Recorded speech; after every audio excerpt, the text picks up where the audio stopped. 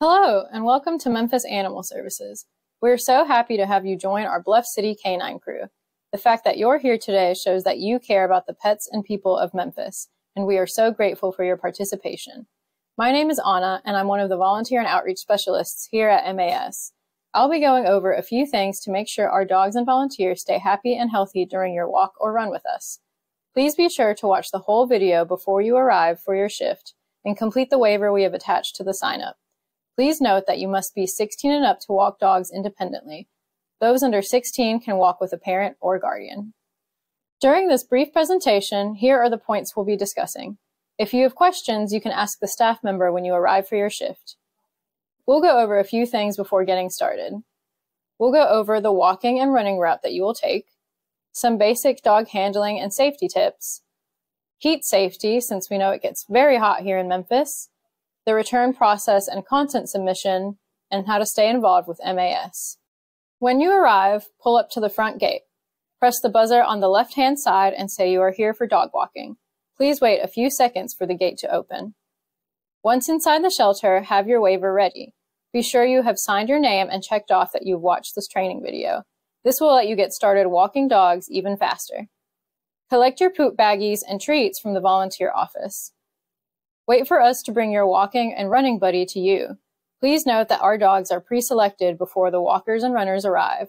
If you have any limitations, please let us know before we have brought you your dog. Your pup will be handed to you in our dog hallway. You will head outside the play yard door, then take a right outside the gate and follow the sidewalk to the fork in the road. You can choose to go either right or left. Once you've made a loop, you can return the dog back the way you came in, through the front gate. You will be walking along the cove, and the whole path should be around three fourths of a mile. The slip lead will be around the dog's body as a no pull harness. This needs to stay on them at all times.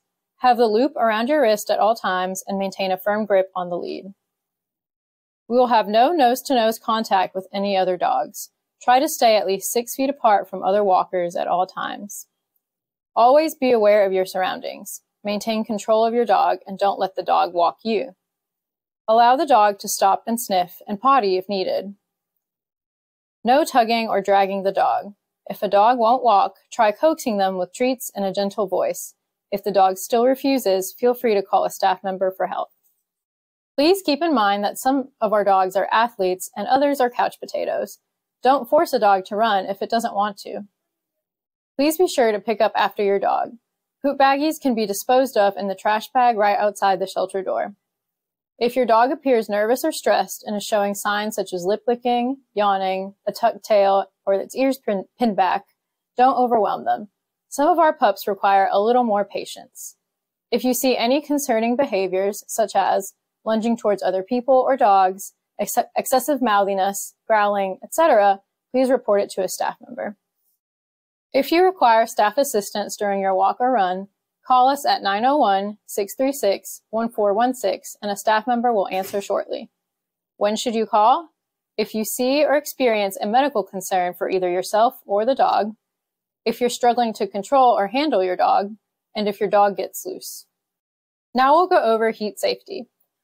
Please keep in mind that if the pavement is too hot for your hands, it's too hot for their paws. Try to stay in the shaded grassy areas when needed.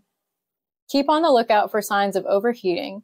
These can include heavy panting, a bright red tongue and gums, lethargy or mobility problems, vomiting, excessive drooling, and others. Please see the graphic shown for more details. Return and repeat. You will return your shelter dog to the front of the lobby the same way you came in.